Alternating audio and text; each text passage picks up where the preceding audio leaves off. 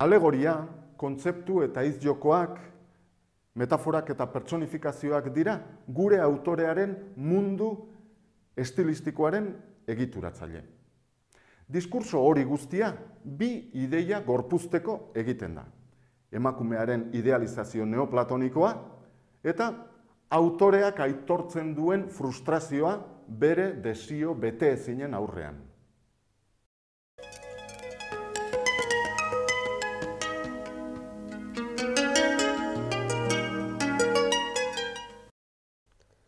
Andreak luzez zerbitzatu zaituztet, eta nik ospatu dut herri hauetan zuen izena.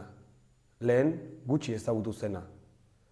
Nik zuen asturak eta atunak, gu baitan oraino ezentzunak. Argitaratu ditut ilun beti. Eta aterarik erratzetik, gure ganatu eta eman euskara kopla on zalen eskuetara.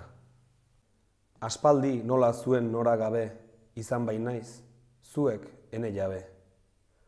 Uste nuen ni aurk ere ekaitzak jo baneza, neure zurkaitzak zintuzke dala, eta abeak. Neure aizpeak, neure aterbeak. Uste nuen ala, baina eskuarki engainatua izan naiz ergelki. ezi behar beharrenean, el elez egon naizenean. Ez dizkidate hurbildu, ez heldu, aitzitik dizkidate gibeldu.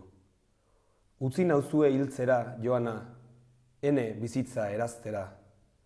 Beragatik lurrera etorria, edo zerutik igorria. Joana, ene emazte karioa, ene bihotza, ene gogoa.